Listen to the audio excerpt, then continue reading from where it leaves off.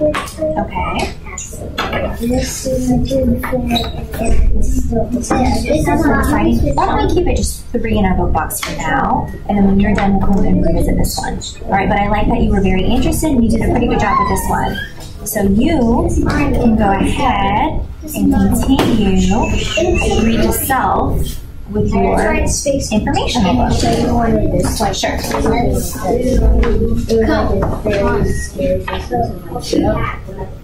Cole, let's do Cole.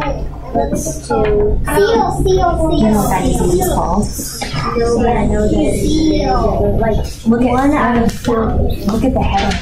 What does the heading say? So it's like it was like a very So like if I came Exactly. it came like and they were like on the rats and go so um one out of four people Oh my! Look at all that. Yuck. Plague. What sickness is called the plague? The plague strikes. That's cool. and my there. But and then and then more bad luck happens to them on the next page. Yeah, I can see you're using a lot of your, your pictures here, huh? Okay, we're done. What is the heading say on this page? Under attack. Under attack. And Did you read about what happened under attack?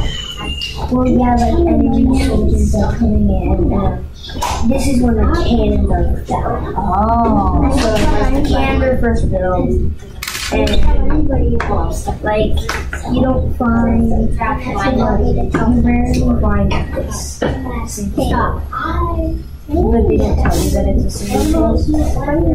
And I have a challenge for you. What I want you to do during Read Yourself today is I want you to take a look at these little parts here and read through what these little pictures tell you about this page, okay? Can you do that for me? All right, awesome job. Here you go, take your book box.